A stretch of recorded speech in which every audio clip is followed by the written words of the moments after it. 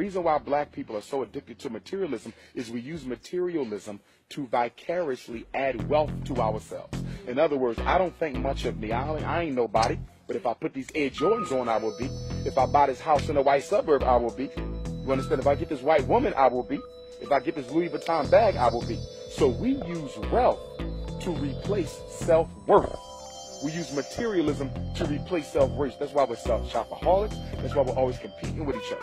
And we got a big issue of self-hate that is always the elephant in the room. I don't care what the ideology is, socialist, nationalist, integrationist, Hebrew, Mormon, Nawapi, God and Earth, Nation of Islam. We've gotten so bad that the women and the men compete with each other now. So in most other races, the men might compete with each other, but the man and the woman don't compete.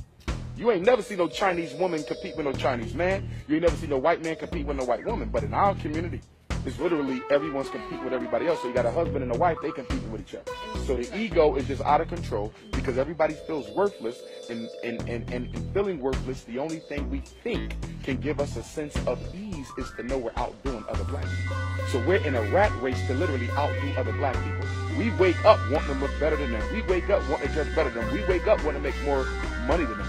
Will Smith said what? Black people spend too much money they don't have to buy stuff they don't need to impress people they don't even like.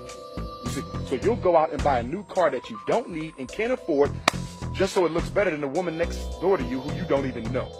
That's the situation we're in. We literally go into debt for self-hate reasons. We just want to be the HNIC, head Negro in charge. Whether it's the head Negro with the best car, head Negro at the church, head Negro in charge of the community organization, head Negro with the best pocketbook, head Negro with the, with the best looking woman. It's all about the HNIC syndrome being one above the rest, and it's killing us because our children are being bred, socialized, and indoctrinated with that same mindset. I see it in the schools.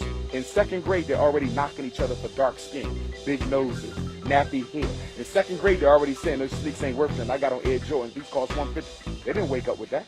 They're being taught that at home and in the community. So we're literally breeding baby Negroes to take our place.